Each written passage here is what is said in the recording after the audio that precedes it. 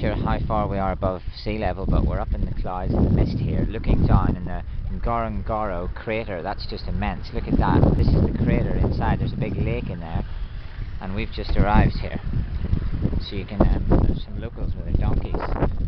Look into the crater here. This incredible. We're on the rim of the Ngorongoro crater,